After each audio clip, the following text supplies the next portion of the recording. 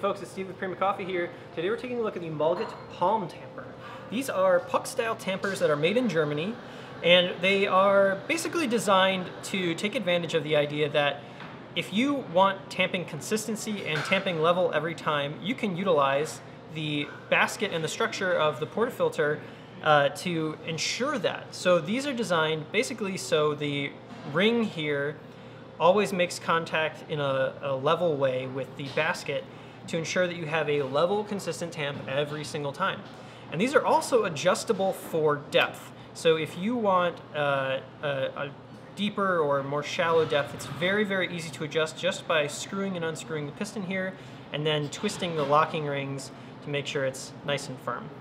So if you are a coffee shop owner who is looking for much more consistent shot pulling in between baristas and you know across all of your employees from day to day, these guys are going to solve a lot of problems for you. And in fact, the baristas that we've uh, asked to trial these out for us have found that their shot quality improves and gets much more consistent when using one of these. So the idea here is that you want to adjust the piston for a certain depth in your basket.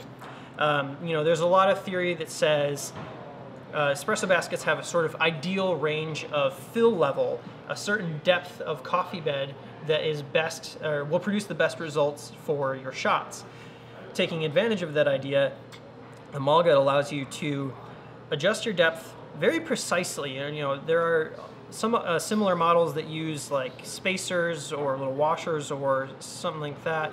Um, whereas the Mahlgut has essentially infinite adjustment across its range. Uh, so very, very easy to set and change the depth. So if your dose changes a little bit throughout the day, you can still react on a very precise scale and ensure that you still get that level tamp with the correct amount of compaction.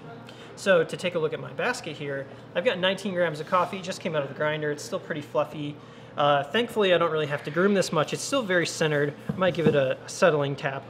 But when I go in to tamp it, all I have to do is set it down and push and I'll give it a little bit of a spin here.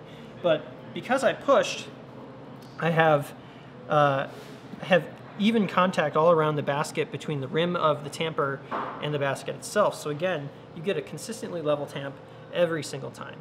And I can still sort of polish that up a little bit, but you see the, um, the advantage there of having that contact around the rim of the basket really, it's almost impossible to screw up with this uh, unless, you know, maybe you set the depth wrong, but it's also very easy to react because, again, just with a couple of seconds and a couple of turns, you can change your depth, lock it back in place, and go on your way with better espresso.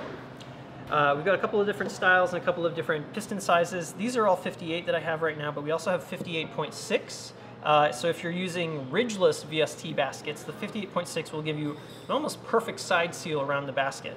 The 58 is better for ridged VST baskets and other uh, sort of OEM baskets and styles. Um, but we have quite a, a variety, um, including these aluminum that are anodized, solid stainless steel, these are a bit heavier, and as well as these uh, wooden collared ones. So there's the Mahlgut Palm Tamper. Thanks for watching.